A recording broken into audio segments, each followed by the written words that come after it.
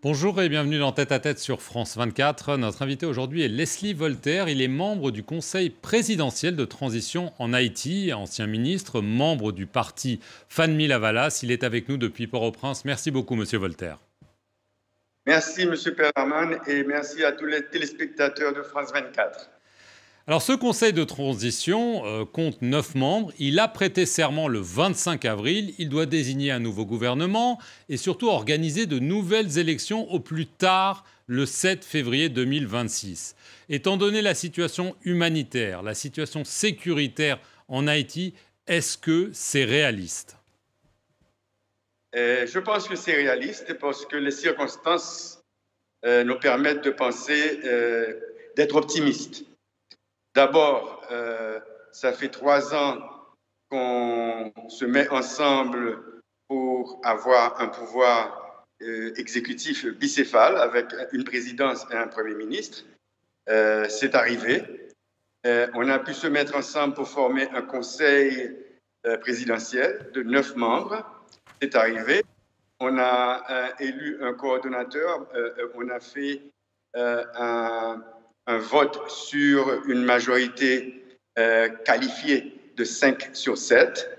Euh, c'est arrivé. On, a une présidence euh, en rotation de quatre candidats qui s'étaient présentés et on aura cinq mois chacun à coordonner le conseil présidentiel, étant donné que le conseil présidentiel, c'est lui qui a le pouvoir, mais le président du conseil est un coordonnateur et a des fonctions de représentation. Donc, euh, donc vous, vous, estimez que des élections pourront se tenir d'ici février 2026 Vraiment? Euh, Avant ça, avant ça, je pense que cette année, on va se pencher sur la, sur la question sécuritaire et sur la question humanitaire. On va euh, aussi faire une grande conférence nationale, non seulement au niveau métropolitain de Port-au-Prince, mais aussi dans les autres départements et aussi dans la diaspora haïtienne qui, se trouve au Canada, euh, en Europe, euh, aux États-Unis, euh, en Amérique latine. On va avoir une vision sur les 25 ans d'ici 2050. Que veut la nation haïtienne? Que veut-on venir, de, devenir comme pays? Et on, on, va avoir aussi une réforme de la Constitution. il y a beaucoup de travaux qui sont déjà faits sur ça pour que la Constitution soit simplifiée. On va avoir aussi euh, euh, la création d'un conseil électoral qui va faire l'inventaire de ce qui existe et surtout euh, un audit de la carte d'Hermalogue, qui est la carte d'identité électorale à laquelle on se sert. Il y a déjà 6 millions d'inscrits. à partir de janvier 2025, on commencera avec toutes les opérations électorales. Ça va durer neuf mois. En décembre, on aura l'élection et en janvier, on aura un nouveau gouvernement, une nouvelle classe dirigeante. Alors ça, évidemment, euh, ça c'est la théorie. La pratique, évidemment, ça dépend, vous l'avez évoqué, euh, de la situation euh, sécuritaire. les, gangs, comme on les appelle, regroupés dorénavant dans une coalition appelée Vivre Ensemble, dirigée par Jimmy Cherizier, alias Barbecue, contrôle, d'après la plupart des gens, 80% au moins de la capitale. Ils sont désormais mieux armés, mieux financés avec le trafic de drogue. Comment est-ce que vous pouvez déployer euh, cette feuille de route alors que les gangs contrôlent de facto Haïti? De toute façon, ils contrôlent de facto, mais c'est une population qui se meurt, qui se meurt de faim. Il y a 5 millions euh, d'Haïtiens sur 12 qui sont affamés et qui euh, n'en peuvent plus. Donc il y a une énergie du désespoir aussi. On est en train de lancer un vaste programme de nettoyage de Port-au-Prince, de curage de tous les canaux et avec la, saison des pluies qui s'en vient, eux aussi, ils vont être inondés. Donc, eux aussi, ils ont intérêt à travailler et, que la population voit qu'il y a du travail qui se donne euh, à Haïti.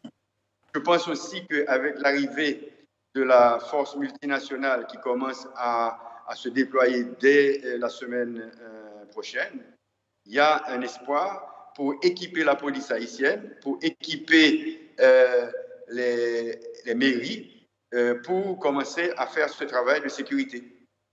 Alors, vous venez d'évoquer hein, le déploiement de cette force multinationale d'appui à la sécurité, comme on l'appelle. Hein. Ça a été avalisé par le Conseil de sécurité des Nations Unies. Ce sera sous commandement euh, kényan. Euh, de combien d'hommes parle-t-on? Euh, parce qu'on parle beaucoup, en effet, qu'il y a des précurseurs qui sont en train d'arriver. Mais d'après ce que vous savez, combien d'hommes de cette force, surtout des policiers, vont être en Haïti? On parle d'ici le, le 5 mois euh, une force de 2500 personnes. De 2500 spécialisées, et équipées et euh, appuyées par la logistique euh, américaine.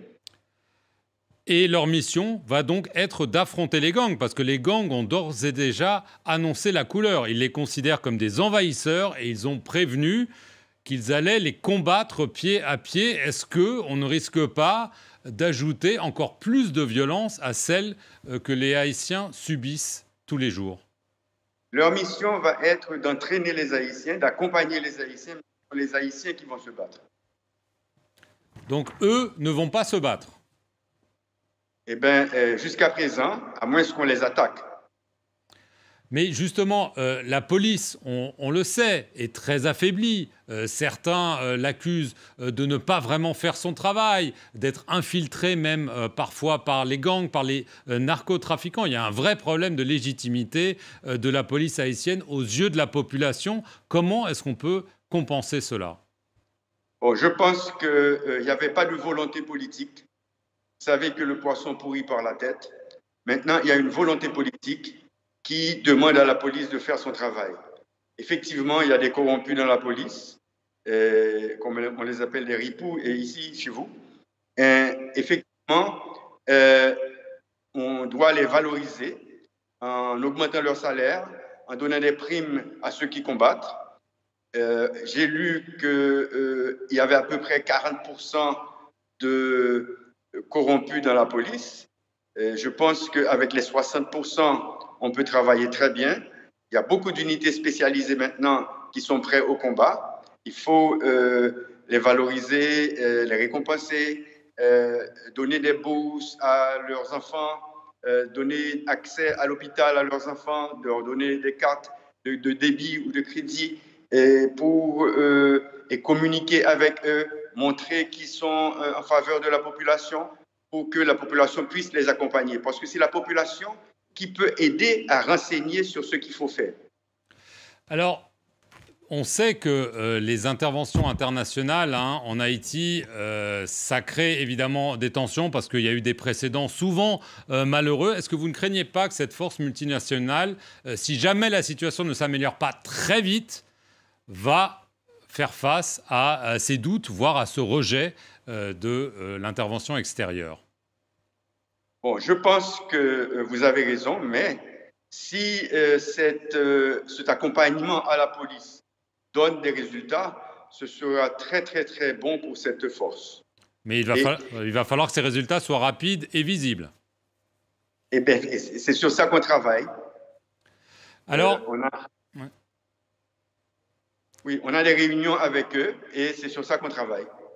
Alors, euh, la question se pose aussi, euh, la question se pose aussi, que faut-il faire avec les gangs? Faut-il euh, les éradiquer, ce qui veut peut-être dire encore plus de violence, ou faut-il négocier, quitte à accorder une amnistie au nom de la paix civile? Je pense qu'on ne peut pas négocier en état de faiblesse. Si on a de la force, on peut faire plusieurs opérations, les contenir euh, démanteler euh, ceux qui sont les plus dangereux, les plus barbares, euh, consolider le terrain sur les lieux qui sont perdus et, donner beaucoup de jobs, beaucoup de travail et donner accès aux hôpitaux et à l'éducation, ouvrir les écoles, donner une alternative aux jeunes. Euh, vous avez euh, tout à l'heure employé l'expression le poisson pourri par la tête. Euh, votre conseil de transition, enfin celui dont vous faites partie, fait suite à la démission forcée, il faut bien le dire, du Premier ministre Ariel Henry, qui avait été soutenu hein, par la communauté internationale à l'époque, hein, il faut quand même le, le rappeler avant qu'il le lâche. Est-ce que lui doit rendre des comptes? Eh bien, euh, effectivement, il a un bilan totalement négatif et sur tous les points. Donc, effectivement, il devrait rendre des comptes, comme tout dirigeant. Et est-ce que la communauté internationale ne s'est-elle pas fourvoyée justement? On se souvient, il y a eu l'assassinat de euh, Jovenel Moïse, puis Ariel Henry qui a été soutenu euh, sans véritable base juridique euh, par les États-Unis, la France, le Canada, entre autres. Est-ce que la communauté internationale n'a pas aussi, d'une certaine façon, une dette envers Haïti de ce point de vue-là? Oui, j'espère qu'ils vont se racheter. J'espère qu'ils vont supporter à, bout de bras ce conseil parce qu'on a à faire euh, sur 20 mois, tellement en si peu de temps. Et, oui, ils, doivent se racheter et nous supporter, nous accompagner dans cette tâche euh, gigantesque. Vous venez de le dire et donc en conclusion, vous dites c'est une tâche gigantesque. Si jamais ce conseil présidentiel et la transition qu'il est censé mettre en place échouent, quel est le scénario pour Haïti, celui du pire? On ne va pas échouer. On est sûr qu'on ne va pas échouer parce qu'on représente toute la nation haïtienne. Toutes les forces vives de la nation sont représentées dans ce conseil. On ne peut pas échouer. Leslie Voltaire, merci beaucoup d'avoir répondu aux questions de France 24 depuis Port-au-Prince en Haïti et merci à vous d'avoir suivi cette émission sur nos Bonjour et bienvenue dans Tête à Tête sur France 24. Notre invité aujourd'hui est Leslie Voltaire. Il est membre du Conseil présidentiel de transition en Haïti, ancien ministre, membre du parti Fanmi Lavalas. Il est avec nous depuis Port-au-Prince. Merci beaucoup, monsieur Voltaire. Merci, monsieur Perraman, et merci à tous les téléspectateurs de France 24. Alors ce conseil de transition euh, compte neuf membres. Il a prêté serment le 25 avril. Il doit désigner un nouveau gouvernement et surtout organiser de nouvelles élections au plus tard le 7 février 2026. Étant donné la situation humanitaire, la situation sécuritaire en Haïti, est-ce que c'est réaliste? Euh, Je pense que c'est réaliste parce que les circonstances euh, nous permettent de penser, d'être optimistes. D'abord, euh, ça fait trois ans qu'on se met ensemble pour avoir un pouvoir euh, exécutif bicéphale avec une présidence et un Premier ministre. Euh, c'est arrivé. on a pu se mettre ensemble pour former un conseil présidentiel de neuf membres. C'est arrivé. On a élu un coordonnateur. on a fait un un vote sur une majorité euh, qualifiée de 5 sur 7. Euh, c'est arrivé. On, a une présidence euh, en rotation de quatre candidats qui s'étaient présentés et on aura cinq mois chacun à coordonner le conseil présidentiel, étant donné que le conseil présidentiel, c'est lui qui a le pouvoir, mais le président du conseil est un coordonnateur et a des fonctions de représentation. Donc, euh, donc vous, vous, estimez que des élections pourront se tenir d'ici février 2026 Vraiment? Euh, Avant ça, avant ça, je pense que cette année, on va se pencher sur la, sur la question sécuritaire et sur la question humanitaire. On va euh, aussi faire une grande conférence nationale, non seulement au niveau métropolitain de Port-au-Prince, mais aussi dans les autres départements et aussi dans la diaspora haïtienne qui, se trouve au Canada, euh, en Europe, euh, aux États-Unis, euh, en Amérique latine. On va avoir une vision sur les 25 ans d'ici 2050. Que veut la nation haïtienne? Que veut-on venir, de, devenir comme pays? Et on, on, va avoir aussi une réforme de la Constitution. il y a beaucoup de travaux qui sont déjà faits sur ça pour que la Constitution soit simplifiée.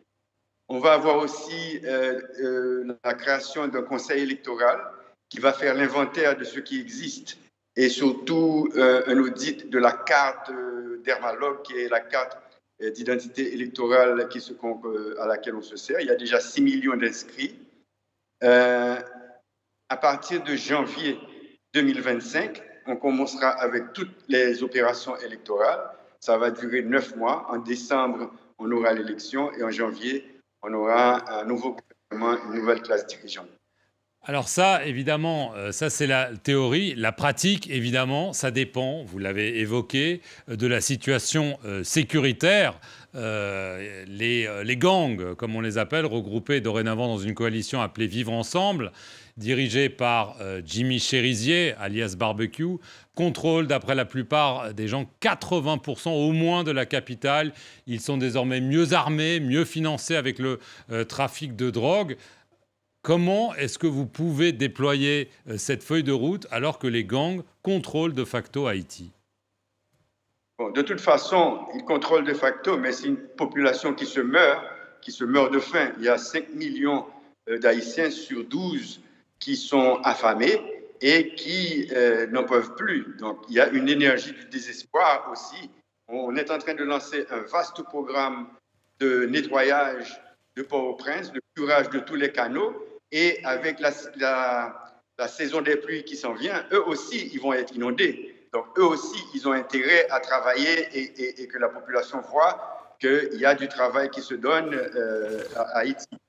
Je pense aussi qu'avec l'arrivée de la force multinationale qui commence à, se déployer dès euh, la semaine euh, prochaine, il y a un espoir pour équiper la police haïtienne, pour équiper les, mairies pour commencer à faire ce travail de sécurité. Alors, vous venez d'évoquer hein, le déploiement de cette force multinationale d'appui à la sécurité, comme on l'appelle. Hein. Euh, ça a été avalisé par le Conseil de sécurité des Nations Unies. Ce sera sous commandement euh, kényan. de combien d'hommes parle-t-on? Parce qu'on parle beaucoup, en effet, qu'il y a des précurseurs qui sont en train d'arriver. Mais d'après ce que vous savez, combien d'hommes de cette force, surtout des policiers, vont être en Haïti? On parle d'ici euh, le, 5 mois, euh, une force de 2500 personnes.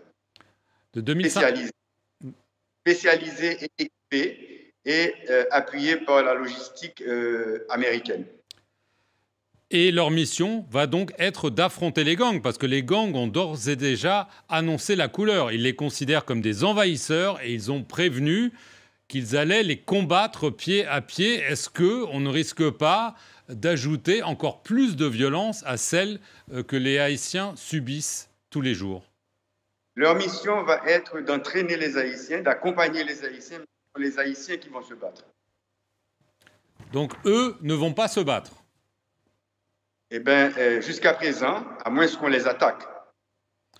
Mais justement, euh, la police, on, le sait, est très affaiblie. Euh, certains euh, l'accusent de ne pas vraiment faire son travail, d'être infiltré même parfois par les gangs, par les narcotrafiquants. Il y a un vrai problème de légitimité de la police haïtienne aux yeux de la population. Comment est-ce qu'on peut compenser cela?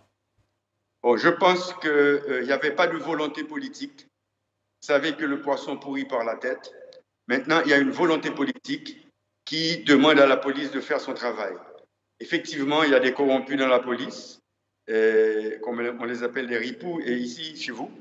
Et effectivement, euh, on doit les valoriser en augmentant leur salaire, en donnant des primes à ceux qui combattent.